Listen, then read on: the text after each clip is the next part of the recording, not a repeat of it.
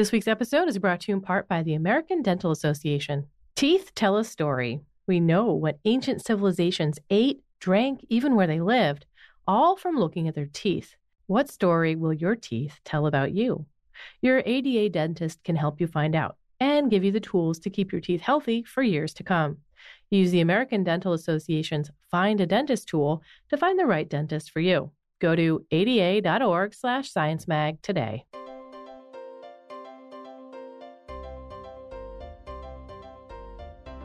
Welcome to the Science Podcast for November 9th, 2018.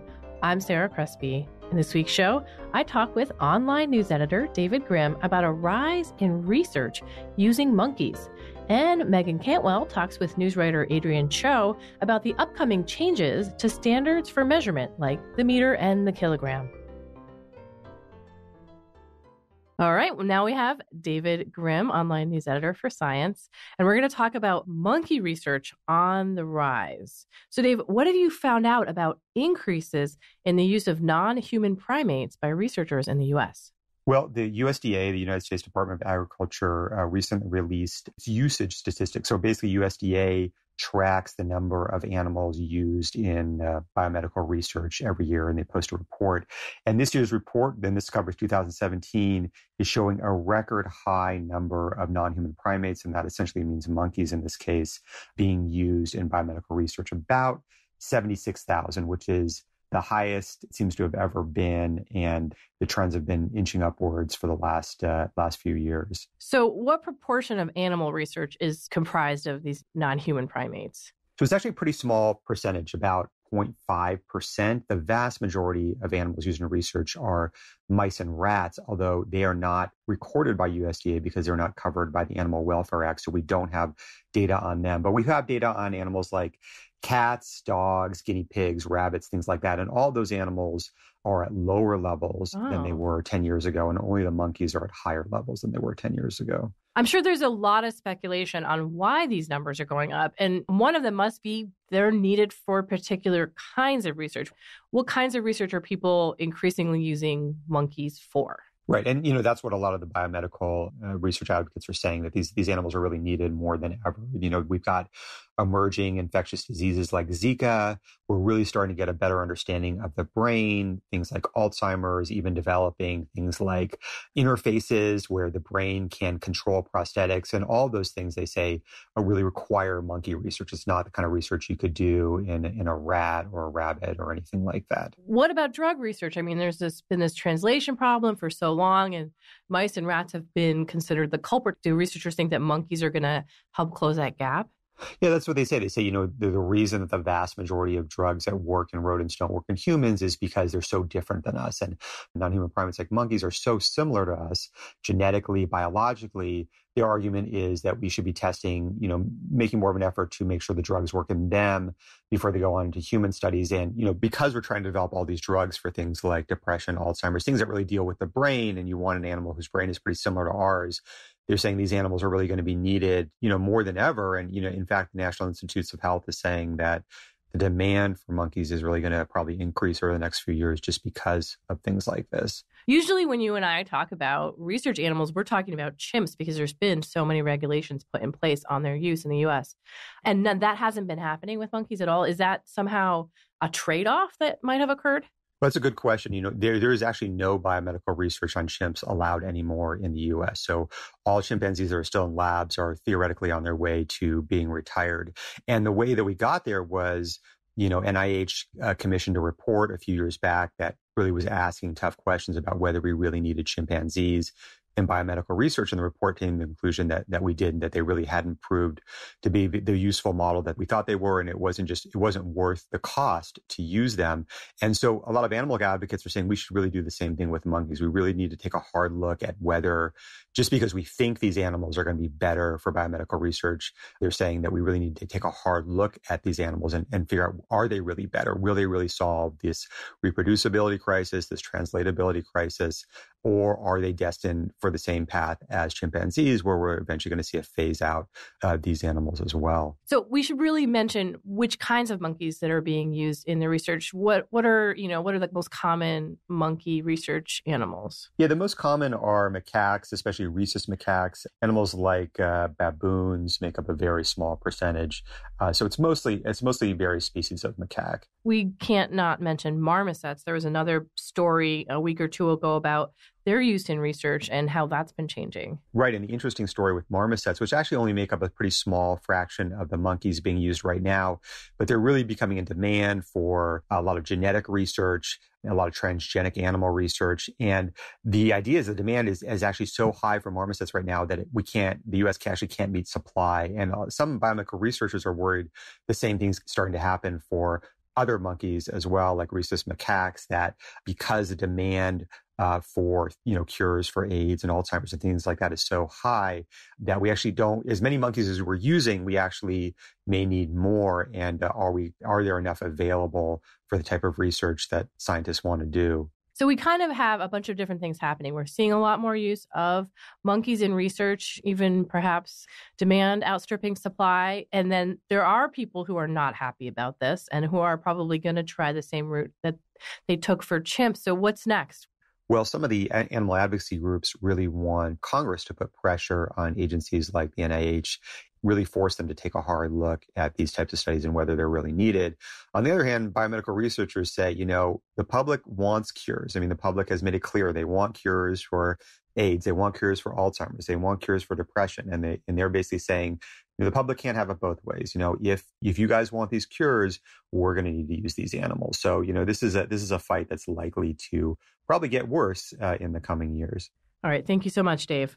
Thanks, Sarah. David Grimm is the online news editor for Science. You can find a link to his story at news.sciencemag.org. Stay tuned for Meagan Cantwell's interview with Adrian Cho on upcoming changes to international standards on measurement. This episode is also brought to you in part by OpsGenie. Incidents happen, and they require complex coordination between operations and software development teams who are putting out fires every day. That's why getting alerts immediately is critical. Thankfully, there's OpsGenie by Atlassian. OpsGenie empowers dev and ops teams to plan for service disruptions and stay in control during incidents. It also gives teams the power to respond quickly and efficiently to unplanned issues and helps to notify all the right people through a smart combination of scheduling and escalation paths that account for things like time zones and holidays. Better yet, OpsGenie allows for deep flexibility in how, when, and where alerts are deployed.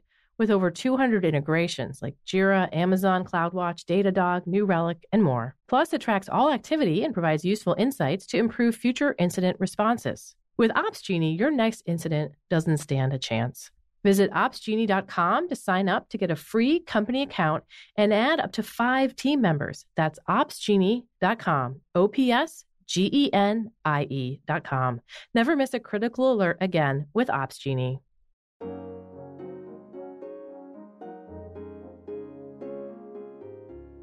This episode is also brought to you in part by the NSA. Almost every day, we hear something on the news about a cyber attack. Sometimes it's just some pranksters, but more often it's a foreign country with vast cyber resources trying to hack the power grid, the banking system, or the military's information networks. The National Security Agency plays a big part in protecting the country from cyber attacks, and you can help. The NSA is hiring technical professionals to serve on the front lines of information security. If you work in computer science, networking, programming, or electrical engineering, you can help keep the country safe. Design new hardware systems and networks. Write faster, smarter programs. Protect America's critical infrastructure. Or help uncover what its adversaries are planning to do next. Learn more about careers at the National Security Agency today. Visit intelligencecareers.gov/nsa. That's intelligencecareers.gov/nsa.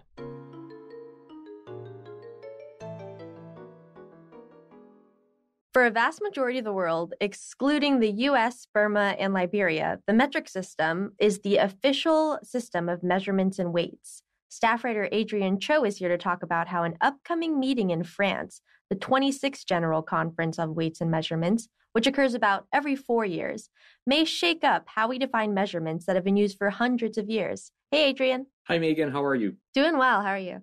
Very good. So, this is the 26th conference that's being held. Are there usually significant changes that occur to units every single time they meet? Well, usually there's either a proposal to change something or there is an update. Uh, but this one is a pretty significant one in that not only are they changing say one specific unit, but mm-hmm. they're, they're reconceptualizing the entire SI system. What are the units that are set to be redefined or reconceptualized? So there are seven base units in the SI system, and four of them are going to be redefined. And those are the kilogram, the mole, the Kelvin, and the ampere. And the other three, the second, the meter, and the candela, which is a, a, measurement of the brightness of light, had been been redefined in much the same way earlier. Gotcha. So let's go into more detail about how each of these units will be defined. Currently, the kilogram is defined as the mass of a cylinder of platinum and iridium stored in the International Bureau of Weights and Measurements. So, how do they plan on defining the kilogram now without this physical reference? Yeah, so it's tricky. And the best way to explain it is to explain what they did in 1983 in redefining the meter. Mm-hmm. Up to 1983, you had seconds that were defined one way and meters, which are obviously different and were defined independently. To make their definition of the meter more precise, they would change things around. And what they would do is that they would define the speed of light to have a precise value, right? So there'd be no uncertainty in it anymore. So they set the speed of light as a constant, exact number, and then they were able to turn the meter into something that you could actually go out and measure, and that would be the standard meter. So they're doing something very similar with a kilogram, except that they're defining a constant called Planck's constant, which uh, shows up in quantum mechanics. And basically, if people are familiar with it at all, it's because the energy of a photon or a quantum of light is given by Planck's constant times the frequency of the photon. And it turns out that if you define Planck's constant, then you can turn things around and you can measure out an absolute kilogram with essentially an electrical balance. And so you would replace this one slug of platinum iridium, which is the kilogram, with these electrical balances, of which there are a few around the world. So now instead of defining the kilogram by this physical reference, they're dividing it in terms of Planck's constant. That's right. That's completely right. But how is this going to change in terms of experimentation and measuring things out? I mean, it's going to be pretty complicated, right? it is pretty tremendously complicated. Even the people who are involved in this admit that it's complicated, right? So the speed of light thing is pretty easy, right? You know, you get this idea, okay, if I define the speed, then, you know, all I need to do is figure out how far light travels in a particular given time, and then I've got the meter. But these so called Kibble balances that are used to measure out the kilogram are a lot more complicated but the fact is that if you have a kibble balance, right, uh, and it's well tuned, you can knock out a standard kilogram weight very easily, right? So this makes the system much more flexible because you don't just have that single reference. If you have a well defined kibble balance, you can make your own reference weights. And so that's the idea behind this. Did people have other propositions on how to redefine the kilogram? Well, there are other ways that you could conceive of doing this, right? I mean, you could conceive of saying, I'm going to define the mass of the carbon 12 atom to be some tiny fraction of a kilogram, and therefore a kilogram is equal to the mass of some gigantic number of carbon 12 atoms. The reason they didn't do that, one is that counting up all those atoms is really, really hard. And the other reason was exactly because the Kibble balance works by bringing in these quantum devices to measure electrical resistances and voltages. And those techniques are exquisitely precise but they're not actually part of the SI, right? They're sort of these techniques that have been invented outside the SI and have never been brought in. I mean, some people have complained that the redefinition is going to be really confusing and really hard to get your arms around, but there are sort of specific practical reasons that they did it this way. So, now moving on to some other units that are planned to be redefined, what's going to happen with the Kelvin? The degree Kelvin which is the absolute temperature scale, it used to be that there's one very specific temperature called the triple point of water, at which water, liquid, vapor, and solid can all coexist. And that temperature was defined as 273.16 Kelvin. And so, if you wanted to determine what a Kelvin was, you had to set up an experiment that held water at that temperature, and then you would divide whatever temperature you got, however you were going to measure it, by 273. And now what they've done is they've defined this thing called Boltzmann's constant, which always relates, say, the temperature of a material to the amount of thermal energy in it. If you know Boltzmann's constant, you work through a bunch of math and you can get the temperature. And the beauty of that system is that it's no longer tied to the specific temperature where the definition would be most accurate. Who are the proponents for these changes and who are the people that are kind of pushing back and saying this could cause a lot of confusion? Maybe we should think of another way to redefine it. This has really come out of the metrology community, right? They have developed this consensus that this is much more reliable system. But that said, even the people who are strongly for this and who've been working for more than a decade to get the precise measurements of the constants that you'll need to fix them they admit or acknowledge that this is going to be a little bit tough on people, right? People generally learn about units and weights and all that uh, in middle school. Right. And it's pretty easy to understand if a meter is the length of a meter stick and a kilogram is the weight of this particular weight. But when it's tied to some constant in quantum physics that people have never heard of, it's going to be a little bit harder for them to get their heads around. Yeah, it takes a lot more background knowledge to even understand that. So if those changes will, like you said, they most likely will be approved, how long will it take for them to be implemented? Everybody I spoke to is pretty sure that this is going to happen. One researcher told me that they've already they've already scheduled the party, so so it seems likely that this is is going to go through. But the the world will get about six months to get used to the the new idea. It must be said, most of us never deal with this. We don't worry about what how a second is defined or how a how a meter is defined. Right, because the the value itself isn't changing. It's just the conceptualization behind it. So it's not like people are going to have to go buy new like scales or anything like that. Right. That's absolutely right. So what they did is that they put in well more than a decade worth of effort to try to measure the different constants that they're going to fix now to exquisite precision because once you fix them there's kind of no going back. Planck's constant will have this exact value. And so they couldn't have five groups around the world measuring this thing with wildly different numbers, right? Mm-hmm. They, they, they all had to converge. This was actually supposed to happen back in 2014, mm, and okay. uh, General Conference on weights and measures then looked at this and, and said that the numbers weren't quite ready. They weren't quite ready to fix the uh, the constants, and so now apparently they are. So that's why this is happening now. Yeah. So this has been an undertaking that's been going on for many years. But are there more changes on the horizon after this big one? What's next afoot is a reconsideration of the definition of the second in principle, it will still be defined as some gigantic multiple of the oscillations of radiation from a particular atom, but just which atomic transition is used and which frequency of light is going to be changed. That may happen as, as soon as, as 2030. It's not for a little while.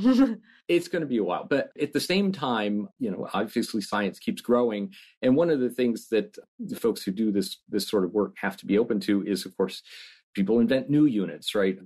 The metric system was born shortly after the, the French Revolution, and a committee in France got together and they defined the meter in the kilogram. But back then, those were the units, right? Mm-hmm. so all these other things have come uh, have come since then. Right. All right. Thank you so much, Adrian. Uh, my pleasure, Meagan. Adrian Cho is a staff writer at Science. You can find a link to his piece at sciencemag.org slash podcasts. And that concludes this edition of the Science Podcast. If you have any comments or suggestions for the show, write to us at sciencepodcast at aaas.org. You can subscribe to the show anywhere you get your podcasts, or you can listen on the Science website. That's sciencemag.org slash podcasts. To place an ad on the Science Podcast, contact midroll.com. The show is produced by Sarah Crespi and Meagan Cantwell and edited by Podigy. Jeffrey Cook composed the music. On behalf of Science Magazine and its publisher, AAAS, thanks for joining us.